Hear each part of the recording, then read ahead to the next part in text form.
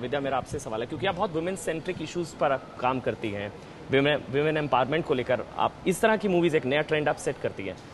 तो ये सवाल इसलिए है क्योंकि अभी हाल ही में माई चॉइस एक वीडियो आया था दीपिका पादुकोण का। उसमें इस, शायद उससे जोड़ रहे हैं लोग इसको कि यहाँ पर भी अगर आप शादी से परेशान हैं अपनी मैरिटल लाइफ में बहुत ज़्यादा तंग आ चुके हैं तो फिर ये चीज़ क्या वैलिडेट है? क्या ये चीज़ सही है?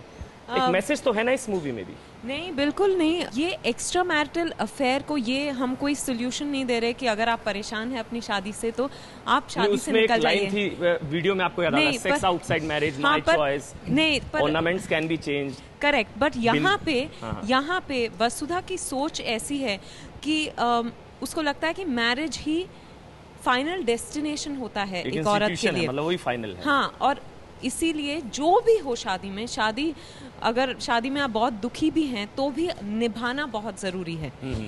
ये कैसी अजीब परंपरा है तुम लोगों की।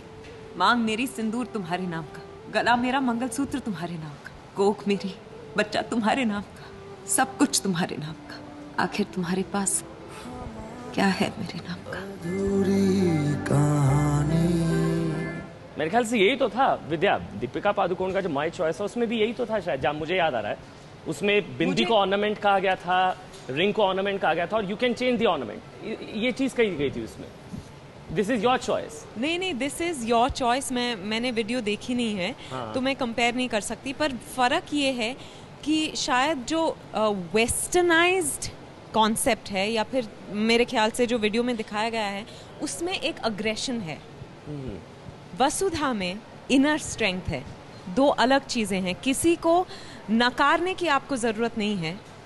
अगर आप में खुद ताकत है